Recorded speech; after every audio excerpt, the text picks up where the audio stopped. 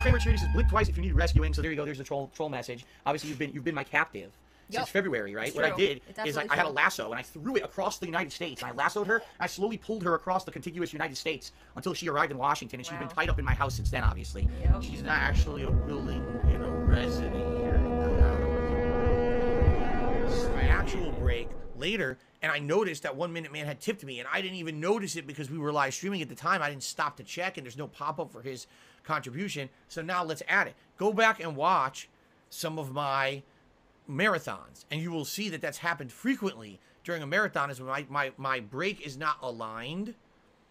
You know, uh, that's what happens. So it's just so dumb because here's what it is: they want to bring up something that they know I cannot show evidence of because if I tried to show you evidence that the tips were really coming through, it would basically dox the person, right? It would give you their information, it would give you their email address or whatever.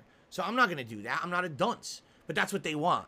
They're like, maybe if we get enough people saying that One Minute Man is fake and doesn't exist, then just maybe Phil will do something stupid to get him in trouble. I am not you. I'm not stupid.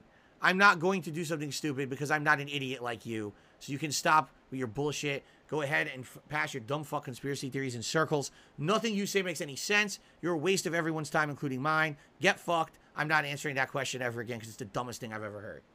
Okay.